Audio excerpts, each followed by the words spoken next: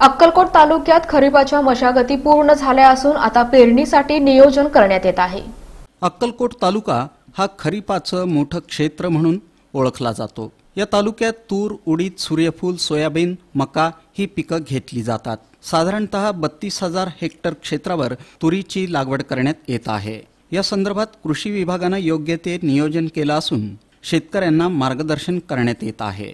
तालुका कृषी अधिकारी सूर्यकांत वडखेलकर यांच्या सूक्ष्म नियोजनातून यंदाचा खरीप हंगाम सुलभतेनं जावा या अनुषंगानं सर्व खते बी बियाणे दुकानदारांना योग्य त्या सूचना देण्यात आल्या आहेत.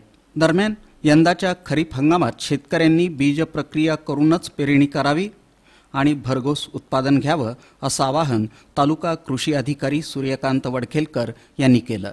बीबीएम पेरणी ट्रॅक्टरला जे यंत्र लावायचं असतं त्याला दोन सऱ्या पडतात.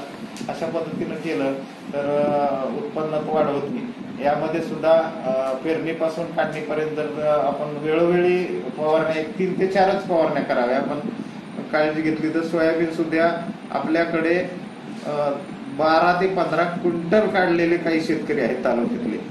आणि यावर्षी आम्ही बरंच अशा शेतकऱ्यांनी ज्यांनी खरोखर उत्पन्न काढलंय त्यांच्या इतर शेतकऱ्यांना त्यांच्या भाषे कसं माहिती होईल?